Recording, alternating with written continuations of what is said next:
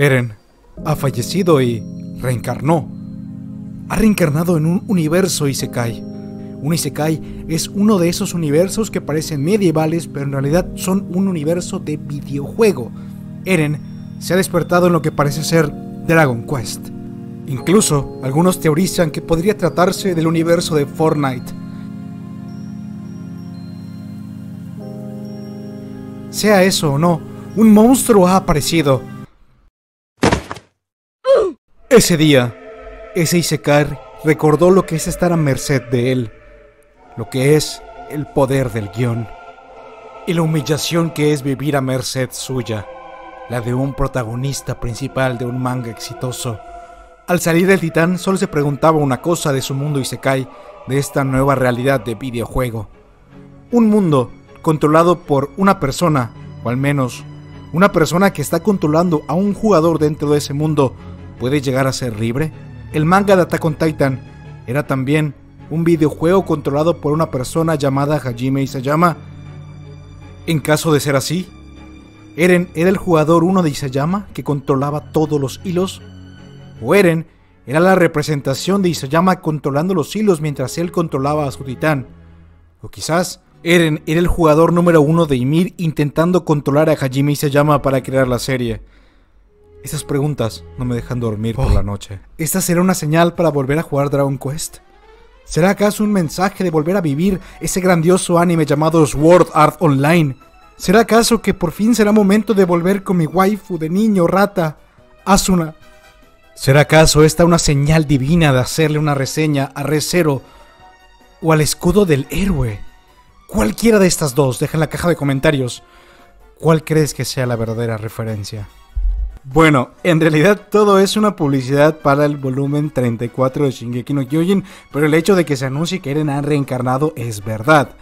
Esto, digamos que sustituye de alguna forma el adelanto falso de High School o el universo alterno, creando otro universo alterno y se llama que pero es simplemente una publicidad del volumen que acaba de salir, ya que Shingeki no Kyojin ha finalizado oficialmente en su formato de manga.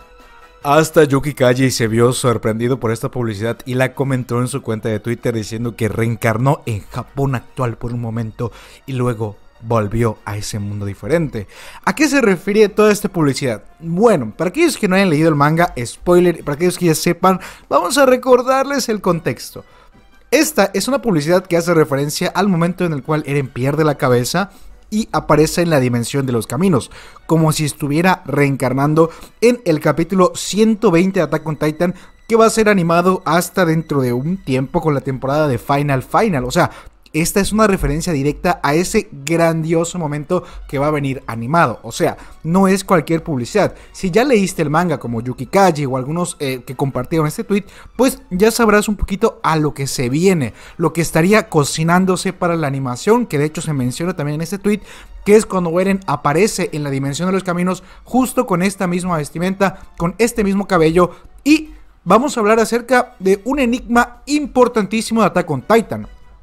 Un enigma que ha dejado sin dormir a los espectadores desde el 2019. Y es el hecho de que antes que Eren reencarne en la dimensión de los caminos, no tenía zapatos. Así es, un Isayama Forgot es que en el manga 116, que de hecho finalizó la temporada final o fue el corte de temporada, que es cuando Porco Galliard se transforma, muerde las piernas de Eren y le arranca las piernas. O sea, vemos cómo se queda sin pantalón y sin zapatos, obviamente, y sin pies.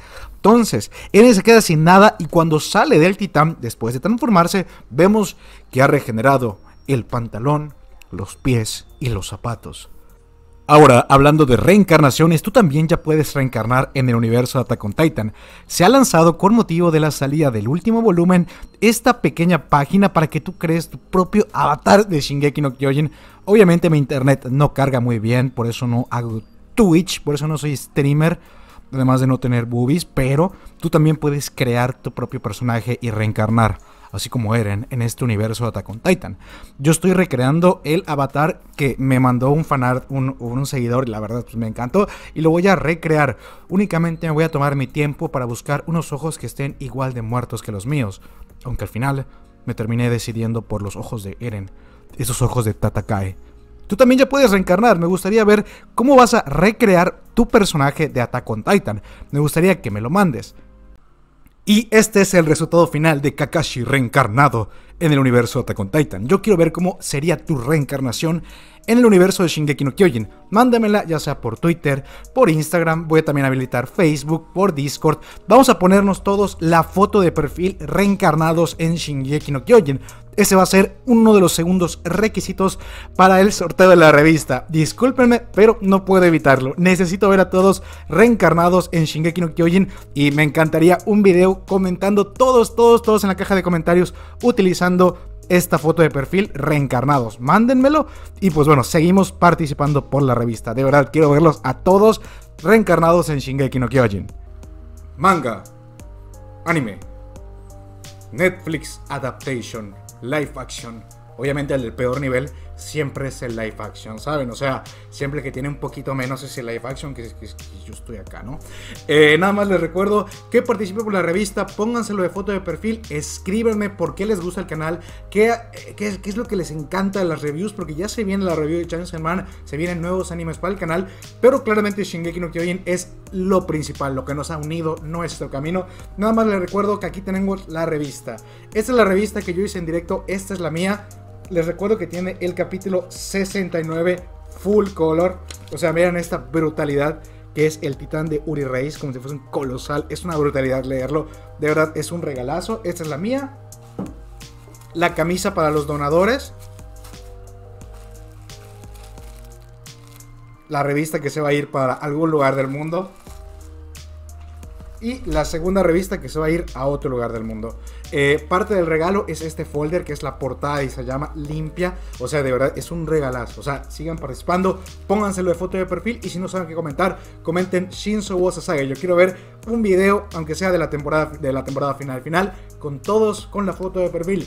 Estamos viendo muy pronto, ¿eh? Cuidado. Yo me despido y recuerda que hoy, 9 de junio, es el día que se publicó el último tankobon de Shingeki, el 34. Entrega tu corazón. También se me olvidaba decirles que tengo pósters, o sea, pósters grandes, son del tamaño del que tengo acá, como el que tengo acá, son de Shingeki, todos oficiales de inglés. Entonces, son, a ver, para regalar tengo, uno es mío de estos azules, ¿no? Entonces tengo cuatro pósters para regalar. Participen, pónganse la foto porque hay varios regalos. Además de la camisa, las revistas, están los pósters. Y también voy a tratar de conseguir más mangas. Así que participen y ojo, va a ser eh, la idea es que haya un ganador por mes hasta que salga el anime o durante la emisión del anime. Ya iremos organizándolo todo por Discord, se requiere mucha organización y soy muy colgado, pero los premios van a llegar. Así que, atentos.